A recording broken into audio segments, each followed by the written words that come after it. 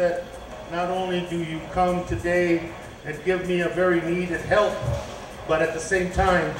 you, you continue to understand that this election is defining for our families and for the future.